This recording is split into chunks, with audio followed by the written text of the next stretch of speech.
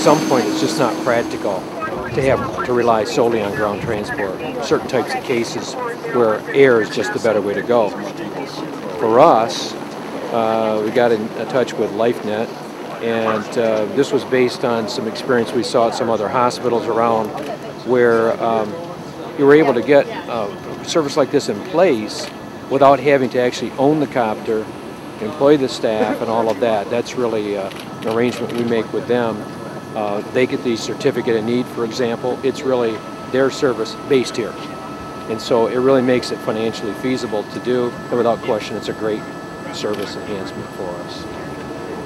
Well, we've, we've had a helipad in for years, but uh, in the past it's always been a process where various different other copter services would come in, either drop a patient off who may have asked to come to Sparrow, or it may have been a transport out in a case where maybe there's a specialized service that someone needed, or maybe it was a patient preference to relocate closer to home or whatever.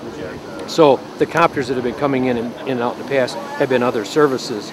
And so it's not as though we've never had copter service before, but this is a service that's going to be based here and will serve Sparrow.